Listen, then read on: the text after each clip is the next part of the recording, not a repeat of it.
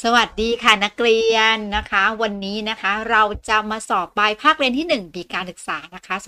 2564 กันค่ะ เผื่อแป๊บเดียวสอบแล้วใช่ไหมคะนักเรียน วันนี้นะคะครูเอจะมาอ่านข้อสอบให้ฟังค่ะเผื่อเด็กป .5 บางคนอยากฟังเสียงของครูเอเนาะบางคนยังอ่านไม่ค่อยออกครูเอก็เลยจะช่วยค่ะเพราะจทย์ครูเอก็ค่อนข้างยาวเหมือนกัน ข้อสอบครูเอนะคะ มีทั้งหมด 10 ข้อ 10 คะแนนค่ะนักเรียน 10 ข้อนี้นะคะเป็นคะแนนสำคัญมากๆเลยนะคะ วิธีการทำข้อสอบเครูเอนะคะ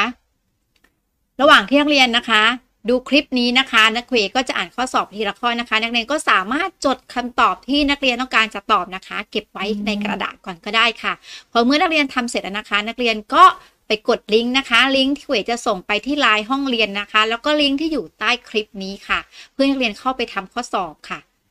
ไม่ได้จำกัดเวลานะคะ นักเรียนก็สามารถทำโดยทบทวนได้ตลอดเวลานะคะ ร้อมแล้วหรือยังคะนักเรียน ข้อสอบไม่ยากเลยเพราะเป็นข้อสอบที่ครูเอกเคยสอบเธอมาแล้ว แล้วก็เป็นข้อสอบที่อยู่ในคลิปต่างๆ ที่ครูเอกสอนด้วยค่ะ พร้อมแล้วเริ่มกันเลยค่ะนักเรียน ข้อใดกล่าวถึงการแก้ปัญหาเชิงตรรกกะกอไก่เป็นการแก้ปัญหาโดยใช้กฎเกณฑ์ต่างๆ มาอ้างอิงเพื่อนำไปสู่วิธีการแก้ไขปัญหา ขอไข่เป็นการแก้ปัญหาที่ไม่ต้องการอาศัยหลัก การทางวิทยาศาสตร์คอควายเป็นการแก้ปัญหาโดยใช้ความรู้สึกมาตัดสินปัญหา และงองูเป็นการแก้ปัญหาเฉพาะหน้าอย่างรวดเร็ว ถ้านักเรียนไม่ทันนะคะ กดหยุดหรือว่ากดกอนะคะ ไปฟังอีกรอบนะคะเขวจะไปข้อต่อไปแล้วค่ะนักเรียนปาม ต้องการไปถึงโรงเรียนให้ทันเวลา 7นาฬิกา30 นาที แต่ต้องใช้ระยะเวลาในการเดินทาง 45 นาที ดังนั้นปาล์มจะต้องขึ้นรถเมล์ในเวลาใดเพื่อให้ไปถึงโรงเรียนให้ทันเวลา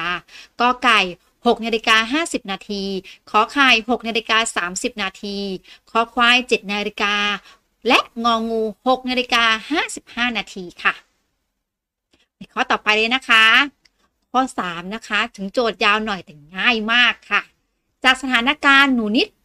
สามารถเลือกวิธีการเดินทางจากบ้านไปยังสวนสนุกด้วยวิธีใดได้บ้าง เพื่อรับชมการแสดงสัตว์โลกน่ารักได้ทันเวลา สถานการณ์มีดังนี้ค่ะนักเรียน ขนาดนี้เวลา8นาฬิกา30 นาที หนูนิดต้องการเดินทางไปยังสวนสนุกเพื่อรับชมการแสดงของสัตว์โลกน่ารักรอบ9นาฬิกา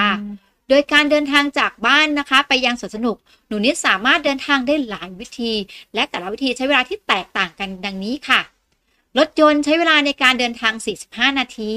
รถจักรยานยนต์หรือมอเตอร์ไซค์ใช้ระยะเวลาในการเดินทาง 30 นาที เรือใช้ระยะเวลาในการเดินทาง 20 นาที และเดินเท้าใช้ระยะเวลาในการเดินทาง 55 นาทีค่ะ มาดูโจทย์ โจทย์เสร็จแล้วมาดูช้อยกันนะคะ นักเรียน กอไก่ รถจักรยานยนต์ เดินเท้า ขอไข่เดินเท้าและเรือ คอควายรถยนต์ และรถจักรยานยนต์ งองูรถจักรยานยนต์ และเรือค่ะนักเรียน ไม่ทันอย่าลืมนะคะ สามารถกอไปฟังได้อีกรอบค่ะ ต่อไปข้อ 4 ค่ะ กระบวนการออกแบบโปรแกรมด้วยการเขียนข้อความมีลักษณะอย่างไร กอไก่การเขียนข้อความเพื่ออธิบายรูปภาพและการกระทำขอไข่การเขียนข้อความเพื่ออธิบายลำดับขั้นตอนของการทำงานของโปรแกรม ขอควายการเขียนข้อความเพื่ออธิบายเรื่องราวที่โรงเรียน งองูการเขียนข้อความเพื่ออธิบายเรื่องราวในชีวิตตนเองค่ะ ต่อไปข้อ5มาครึ่งทางแล้วค่ะ ประโยชน์และความสำคัญของการออกแบบโปรแกรมด้วยการเขียนข้อความคือข้อใด การเขียนข้อความที่บอกเป็นขั้นตอนของการแก้ปัญหาโปรแกรมจำได้ไหมคะกอไก่การเขียนโปรแกรมช้าลง ขอไข่การเขียนโปรแกรมเก่งขึ้น คอควายการเขียนโปรแกรมมีข้อผิดพลาดน้อยลง งองู การเขียนโปรแกรมมีข้อผิดพลาดมากขึ้นค่ะ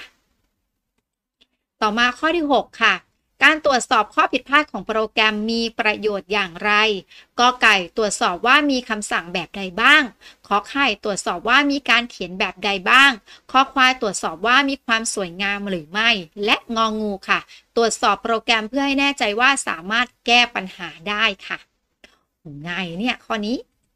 ต่อมาข้อ 7 ค่ะ ข้อใดไม่ใช่คุณสมบัติของข้อมูลสารสนเทศที่ดี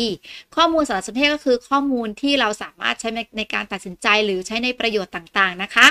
กอไก่มีความน่าเชื่อถือค่ะ ขอไข่มีความชัดเจน คอควายมีความทันสมัย งองู มีภาษาที่ไพเราะค่ะ ไม่ใช่นะคะ นักเรียนดูโจทย์ดีๆด้วยนะคะ ต่อมาข้อ 8 ค่ะ ประโยชน์ที่ได้รับจากข้อมูลเป็นอย่างไร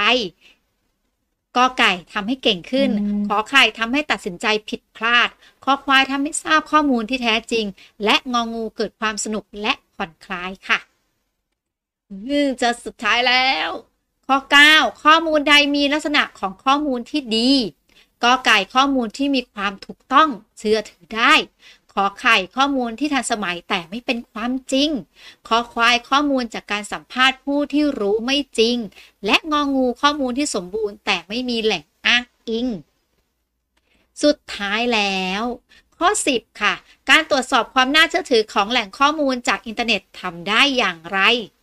กอไก่ไม่มีการระบุชื่อผู้เขียนบทความหรือหรือผู้ให้ข้อมูลบนเว็บไซต์ ขอไข่เนื้อหาบนเว็บไซต์ขัดต่อกฎหมายศีลธรรม และจริยธรรม คอควายไม่สามารถเชื่อมโยงลิงก์ไปเว็บไซต์อื่นที่อ้างอิงได้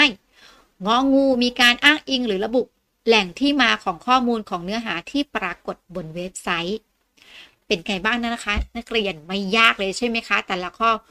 สอนไปหมดแล้วนะคะ แล้วครูเอกก็เชื่อว่านักเรียนทุกคนนะคะ ต้องได้คะแนนเต็มแน่ๆเลยเขรอตรวจงานอยู่เลยนะคะ นักเรียนรีบทำข้อสอบแล้วส่งกันเข้ามานะคะ วันนี้สวัสดีค่ะ ขอนักเรียนโชคดีในการทำข้อสอบค่ะ